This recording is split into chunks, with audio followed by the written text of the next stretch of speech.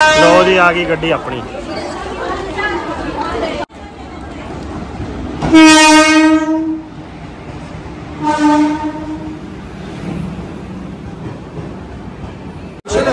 ਉਹ ਮੁਰਾਦਾਬਾਦ ਜੰਕਸ਼ਨ ਤੇ ਪਹੁੰਚ ਗਏ ਜੀ ਆਪਾਂ।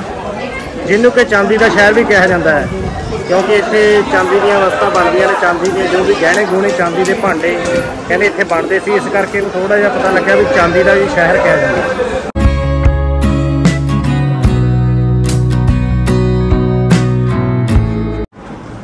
ਲੋ ਜੀ, ਪਿਛਲੀ ਵੀਡੀਓ 'ਚ ਆਪਾਂ ਤੁਹਾਨੂੰ ਨਾਨਕਪੁਰੀ ਟਾਂਡਾ ਸਾਹਿਬ ਦੇ ਦਰਸ਼ਨ ਕਰਾਏ ਤੇ ਇੱਥੋਂ ਦੇ ਗੁਰਧਾਮਾਂ ਦੇ ਤੁਹਾਨੂੰ ਦਰਸ਼ਨ ਕਰਾਏ।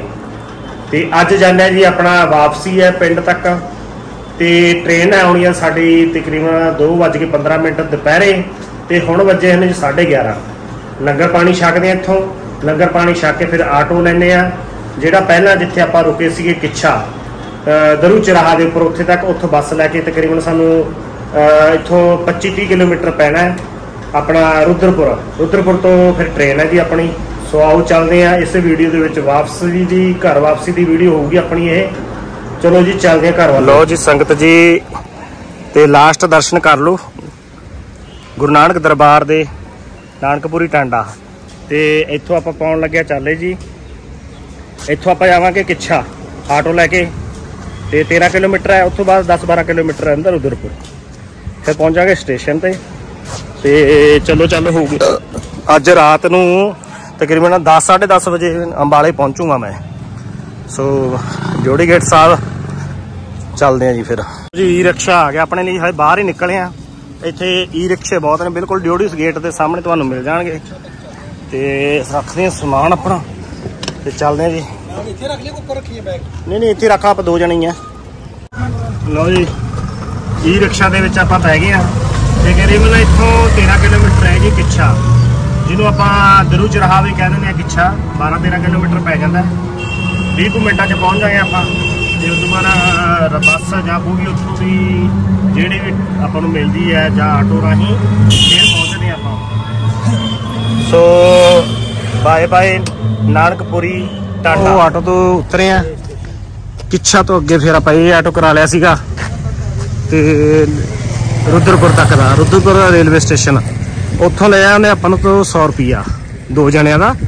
ਤੁਸੀਂ ਦੇਖ ਰਹੇ ਹੋ ਰੁਦਰਪੁਰ ਰੇਲਵੇ ਸਟੇਸ਼ਨ ਆ ਤੇ ਅੰਦਰ ਚੱਲਦੇ ਆ ਤੇ ਤਕਰੀਬਨ ਹਲੇ 12 ਵਜੇ ਨੇ 12 12:30 ਦਾ ਟਾਈਮ ਹੈ। ਤੇ ਇਹ ਹੈ ਜੀ ਬਾਹਰਲਾ ਦ੍ਰਿਸ਼ ਕੋ ਸਟੇਸ਼ਨ ਦਾ, ਜਿੱਥੇ ਕਿ ਆਪਾਂ ਉਦੋਂ ਜਿੱਦਣ ਆਇਆ, ਪਹਿਲੇ ਦਿਨ ਟ੍ਰੇਨ ਰਾਹੀਂ ਤੇ ਇੱਥੇ ਉਤਰੇ ਸੀ। ਇਹ ਹੈ ਜੀ ਰੇਲਵੇ ਸਟੇਸ਼ਨ। ਰੇਲਵੇ ਸਟੇਸ਼ਨ ਦਾ ਕੁਝ ਆਲਾ ਦਵਾਲਾ ਤੇ ਪਹਿਲੇ ਆ ਗਿਆ ਆਪਾਂ ਕਿਉਂਕਿ ਪਹਿਲਾਂ ਆਉਣਾ ਚੰਗਾ 2:15 ਮਿੰਟ ਤੇ ਆਪਣੀ ਟ੍ਰੇਨ ਹੈ ਇੱਥੋਂ। ਕਿਉਂਕਿ ਇੱਥੋਂ ਚੱਲਣੀ ਹੈ ਇੱਥੋਂ ਤਾਂ ਟਾਈਮ ਸਿਰ ਹੀ ਚੱਲ ਪੈਣੀ ਹੈ। ਅੱਗੇ ਜਾ ਕੇ ਟਾਈਮ ਲੱਗਦਾ ਅੰਬਾਲੇ ਤੋਂ ਅੱਗੇ। ਤੇ ਰਾਤ ਨੂੰ 10:30 ਵਜੇ ਕਰੀਬ ਆਪਣੀ ਟ੍ਰੇਨ ਹੈ ਜੀ। ਵੈਲਕਮ ਟੂ ਰੁਦਰਪੁਰ ਸਿਟੀ ਲਓ ਜੀ ਇਹ ਹੈ ਜੀ ਰੇਲਵੇ ਸਟੇਸ਼ਨ ਰੁਦਰਪੁਰ ਦਾ। ਪਹੁੰਚ ਗਏ ਆ। ਬੰਦੇ ਸੁੱਤੇ ਪਏ ਨੇ ਜੀ। ਆਰਾਮ ਕਰ ਰਹੇ ਆ।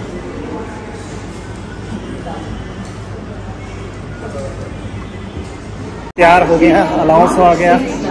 ਡੇਟ ਨੰਬਰ 1 ਪਰ ਆ ਰਹੀ ਹੈ ਨਾਲ ਲਾਲਕੂਆ ਗਾੜੀ। ਸਾਰੇ ਖੜ ਕੇ ਆਪਣੇ ਆਪਣੇ ਜਗ੍ਹਾ ਤੇ ਆ ਗਏ ਲੋ ਜੀ, ਆ ਗਈ ਗੱਡੀ ਆਪਣੀ। ਪਹਿਲਾਂ 15015 ਸੀ, ਹੁਣ ਹੈ ਨੰਬਰ ਇਹਦਾ 15016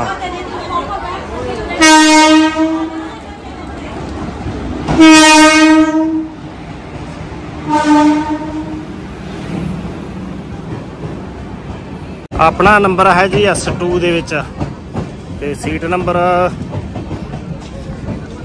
ਲੈਨੇ ਆ ਫਿਰ ਉਹ ਚ। ਲਓ ਜੀ, ਹੋ ਗਈ ਲਾਲਾ ਲਾਲਾ ਤੇ ਤੁਮ ਸਾਹਿਬ ਸੀਟ ਨੰਬਰ ਕਿੰਨਾ ਆਪਣਾ? S2 ਚ 76 ਨੰਬਰ ਤੇ 80 ਨੰਬਰ। 80 ਨੂੰ ਫਿਰ ਇੱਕ ਤੁਹਾਨੂੰ ਸਾਹਮਣੇ ਹੀ ਨੇ। ਬਹਿ ਜਾਂਦਾ ਬਹਿ ਜਾਂਦਾ ਸੀਟ ਤੇ ਤਾਂ ਆਪਾਂ ਬਹਿਣੀ ਪੈਣਾ। ਪਿੱਛੇ ਦੀ ਹੋ ਜਾਓ ਪਿੱਛੇ ਚਲੇ ਜਾਣਗੇ ਸੀਟਾਂ। ਲੌਕ ਲੱਗਿਆ ਹੋਇਆ ਖੋਲ ਨਹੀਂ ਰਿਹਾ ਉਧਰ ਦੀ ਆ ਜਾਓ ਪਹੁੰਚ ਗਈ ਆਪਣੀ ਗੱਡੀ। ਤੇ ਕਰਦੇ ਆ ਸਫ਼ਰ ਫਿਰ। ਰਾਤ ਦੇ 10 11 ਵੱਜਣਗੇ ਆਪਾਂ ਨੂੰ। ਕਿਉਂ ਤੁੰਗ ਸਾਹਿਬ? ਆ ਤੁਹਾਨੂੰ 11 ਵਜਣਗੇ ਤੇ ਮੈਨੂੰ 2:30 3 ਵਜਣਾ ਰਾਤ। ਤੁਹਾਡੀ ਸਾਰੀ ਰਾਤ ਨਿਕਲ ਜਾਣੀ ਮੇਰੀ ਰਾਤ ਨਿਕਲ ਜਾਣੀ। ਹੈ ਗੁਰਦਾਸਪੁਰ ਤੱਕ ਜਾਂਦੇ ਆ ਸਵੇਰੇ 6-7 ਵਜਣਗੇ ਜਾਣਗੇ। ਇਹ ਸ਼ੀਸ਼ਾ ਨੂੰ ਠੀਕ ਕਰੀਏ ਪੱਗ ਪੁੱਗ।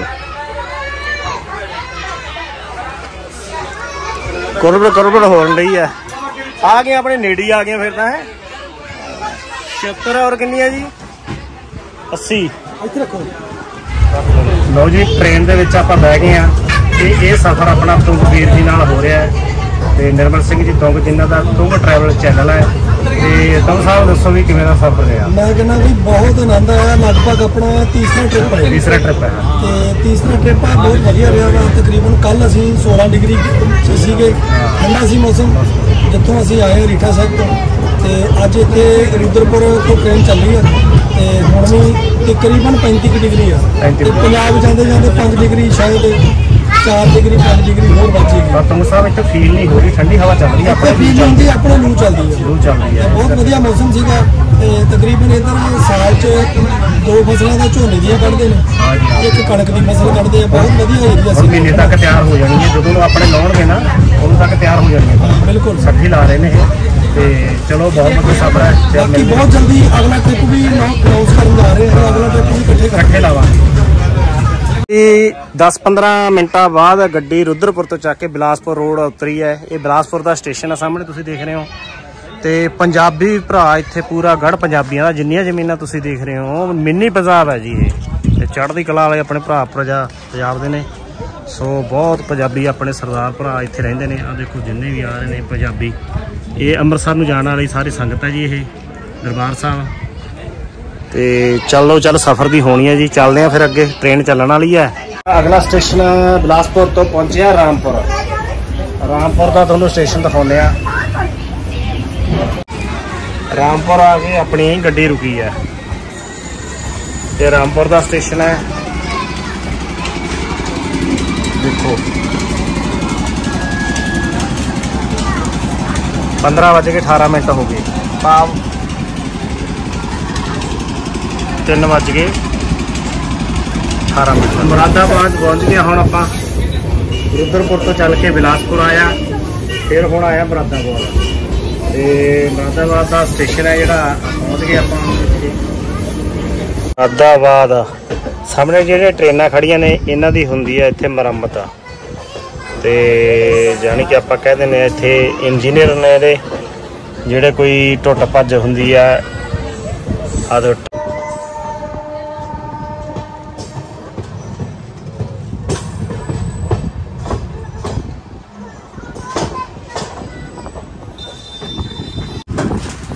ਮੁਰਾਦਾਬਾਦ ਤੋਂ ਚੱਲ ਕੇ ਆਪਾਂ ਤਕਰੀਬਨ 85 ਕਿਲੋਮੀਟਰ ਪਹੁੰਚ ਗਏ ਜੀ। ਰੁਦਰ ਸੋਚੀ ਰੁਦਰਪੁਰ ਤੋਂ ਰੁਦਰਪੁਰ ਤੋਂ ਮੁਰਾਦਾਬਾਦ ਤੱਕ 85 ਕਿਲੋਮੀਟਰ ਬਣਦਾ ਜੀ। ਲਓ ਜੀ, ਆਪਾਂ ਪਹੁੰਚ ਗਏ ਜੀ। ਇਹ ਇੱਥੋਂ ਦਾ ਕੁਝ ਮਾਹੌਲ ਆ, ਰੇਲਵੇ ਸਟੇਸ਼ਨ ਦਾ। ਜੀ, ਸਾਹਮਣੇ ਤੁਸੀਂ ਬੋਰਡ ਲਿਖਿਆ ਹੈ ਮੁਰਾਦਾਬਾਦ ਜੰਕਸ਼ਨ। ਲੱਗਿਆ ਰੁਦਰਪੁਰ ਤੋਂ ਚੱਲ ਕੇ 85 ਕਿਲੋਮੀਟਰ ਪਹੁੰਚ ਗਏ ਆਪਾਂ ਟ੍ਰੇਨ ਦਾ ਸਫ਼ਰ ਕਰਦੇ ਹੋਏ। ਤੇ ਤਕਰੀਬਨ ਡੇਢ ਕੁ ਘੰਟੇ ਚ 85 ਕਿਲੋਮੀਟਰ ਦੀ ਦੂਰੀ ਆਪਾਂ ਤੈਅ ਕਰ ਲਈ ਹੈ ਟ੍ਰੇਨ ਰਾਹੀਂ, ਕਿਉਂਕਿ ਸਟੇਸ਼ਨਾਂ ਤੇ ਰੁਕਦੀ ਹੁੰਦੀ ਆ।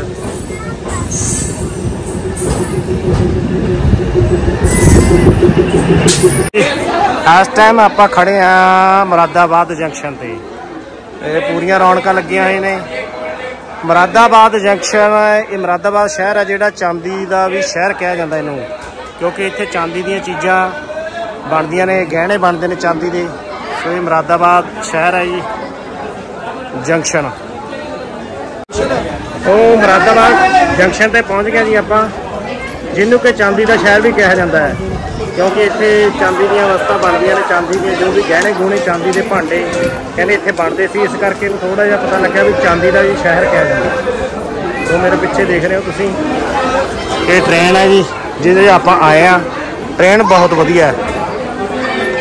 ਤੇ ਇਹੀ ਲਾਲਕੂ ਐਕਸਪ੍ਰੈਸ ਅੰਮ੍ਰਿਤਸਰ ਇਹੀ ਉਧਰੋਂ ਆਉਂਦੀ ਹੈ ਇਹੀ ਰੁਦਰਪੁਰ ਤੱਕ ਜਾਂਦੀ ਹੈ।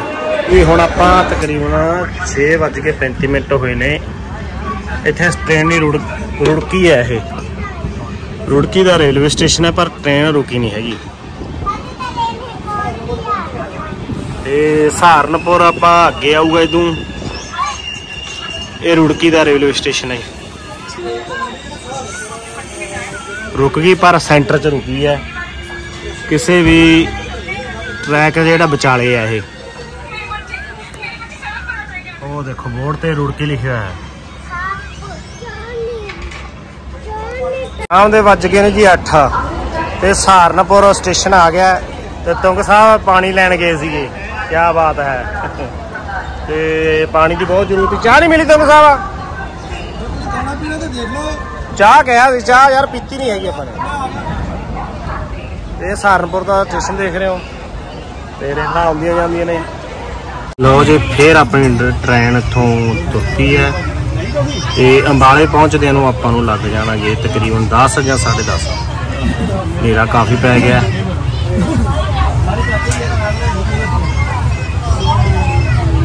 ਆਪਾਂ ਪਹੁੰਚ ਗਏ ਅੰਬਾਲੇ, ਤਕਰੀਬਨ ਉਹੀ 10 ਵਜੇ ਦਾ ਟਾਈਮ ਹੋ ਗਿਆ। ਪੂਰੇ ਐਨ 10 ਵਜੇ ਸਹੀ ਟਾਈਮ ਤੇ ਪਹੁੰਚੀ ਹੈ ਜੀ ਅੱਜ।